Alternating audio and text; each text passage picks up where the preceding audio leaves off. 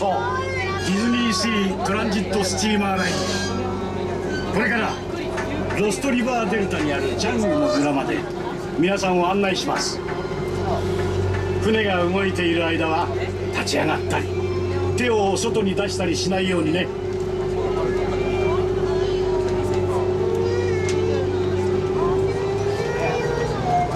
さあて下げ。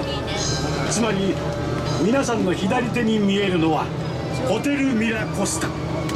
メディテレーニアンハーバーが誇る豪華なホテルだ。この港町はポルトパラディーゾと呼ばれていてね本当に気のいい連中ばかりが出迎えてくれるんだよ。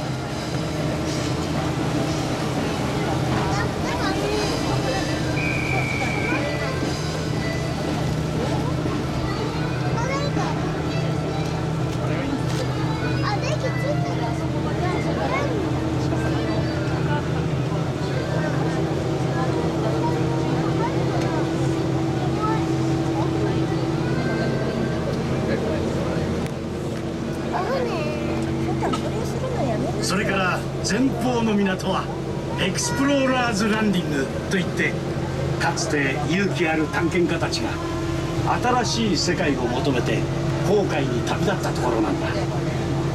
帆船や要塞の中をじっくり探検してみると面白いだろうね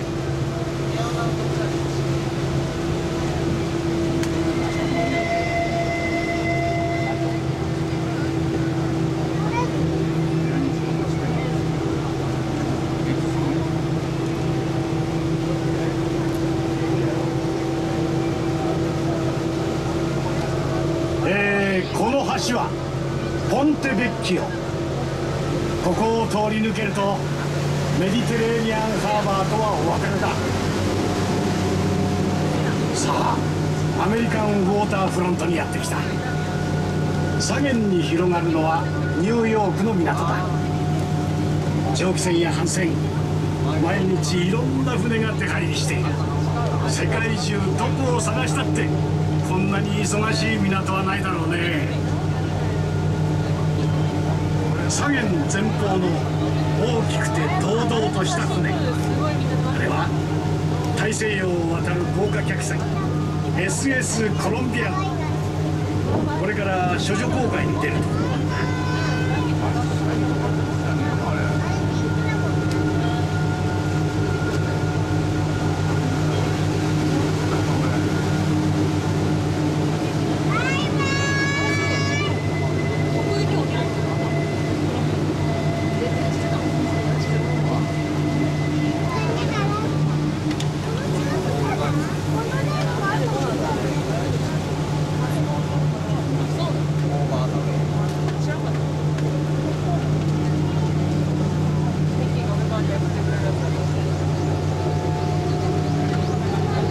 ほら右舷に灯台が見えてきた。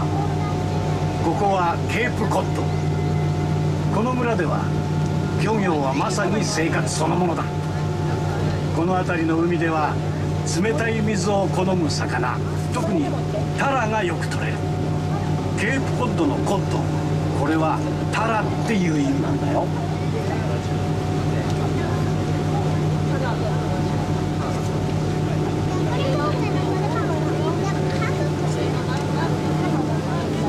こは食べたらあかんからな。広いな、そうちゃん。ここまで歩いててもここまでよかったな。さて右舷に皆さんが見たこともないような風景が広がっている。ポートディスカバリー。だここには気象コントロールセンターっていうのがあって優れた科学者たちが天気に関する研究をしている。そしてなんと連中は嵐を鎮めるための飛行艇を発明した。ストームライダーといってとにかく信じられないような乗り物だよえー、それから左舷の水門。海の機嫌が悪い時でもこの水門が船や港を守ってくれる。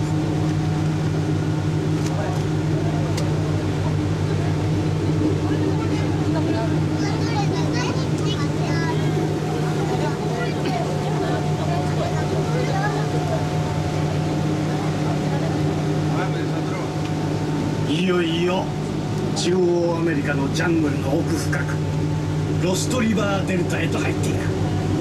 ここにはクリスタルスカルの魔球と呼ばれる神殿があってあの有名なインディ・ジョーンズが中を調べているところなんだ。話によると神殿のどこかに伝説の若さの泉が隠されているらしいんだがこの船の中の誰かがその謎を解き明かすことになるかもね。さ。あ目的地が近づいてきたようだな。